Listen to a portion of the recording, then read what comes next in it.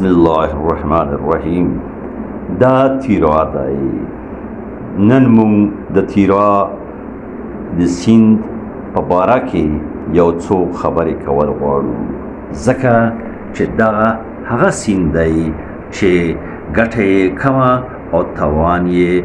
ډیر دی اوس هر ځای کې چې مونږ د تیرا د سین جایزه واخلو نو د اتو سوو نه واخله تر دولس سوو میټرو پورې یې زموږ د افریدو ځمکې خرابې کړې دي او هر وخت د زموږ د فصلونو او د پټو لپاره یو زیان جوړوي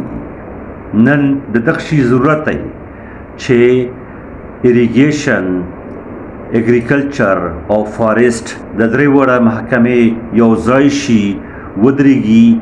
او د تیرا د دغ سیند مخنیوي وکړي چې دا ځمکې بیا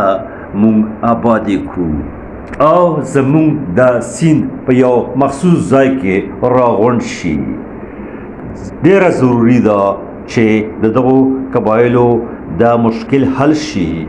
او یو ځل بیا زمونږ ځمکې آبادې شي ډیره ډیره مننه ډیره شکریا د اعلی په امان